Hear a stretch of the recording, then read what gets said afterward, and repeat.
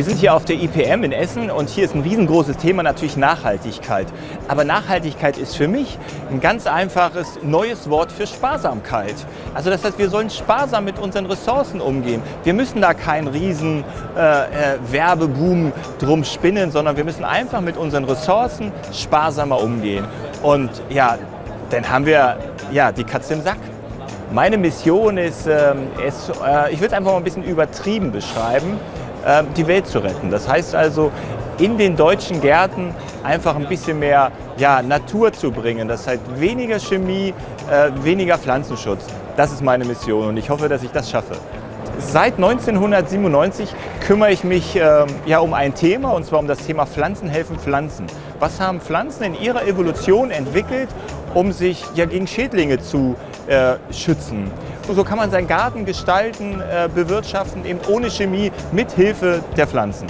Ja, wie bin ich zum Pflanzenarzt gekommen oder wie habe ich das gelernt? Also das ist auch eine wichtige Frage. Und zwar habe ich das über Jahre gemacht. Seit 1997 habe ich halt ausprobiert. Ich habe ausprobiert, was hat Oma früher äh, gemacht, um ihre Pflanzen zu schützen. Ich habe äh, Mixturen ausprobiert und äh, ja, Learning by Doing. Und das kann eigentlich jeder in seinem Garten machen. Und das ist das Einfache und das Tolle eigentlich beim biologischen Gärtnern. Und wenn man darauf achtet, ja, Pflanzen helfen Pflanzen.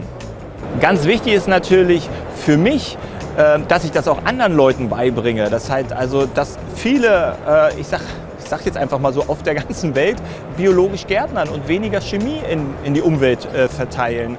Und äh, ja, das ist meine Aufgabe.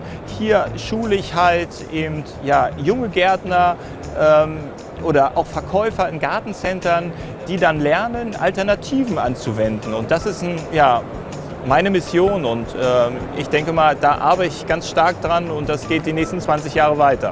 Für mich ist es wichtig, dass, ähm, ja, dass das Gärtnern so leicht wie möglich ist. Das heißt also, wenn der Käufer, also wenn der Gartenfreund seine Pflanze aus dem Gartencenter oder aus der Gärtnerei kauft, soll er halt nicht alleine gelassen werden.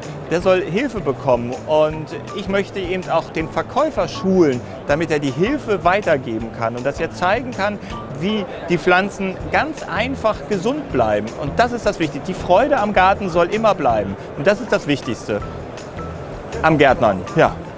Ich habe natürlich, oder wir haben natürlich auch einen Garten zu Hause. Und ganz wichtig ist, es gibt so einen tollen Gärtnersprichwort, der sagt also, der Gärtner sollte seinen Garten so groß planen, dass die Frau ihn auch bewirtschaften kann. Ja? So ist das bei uns ja, muss ich auch zugeben. Ohne meine Frau würde der Garten nicht so aussehen, wie er im Moment aussieht. Und das ist ganz klar. Und bei uns ist es wichtig, wir bauen sehr viel Gemüse an und wir wollen unser Gemüse essen.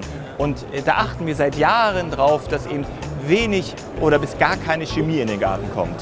Was ich gerne loswerden möchte und wo ich mich darüber freuen würde, wenn wir von den 7000 Tonnen Pestizide, die wir jedes Jahr in Deutschland verbrauchen, das heißt, wir sind in Deutschland die Nummer eins in ganz Europa, wenn wir da mal wieder zurückkommen wie vor zehn Jahren mit 5000 Tonnen und eventuell vielleicht noch weniger. Das wäre ja ein Traum.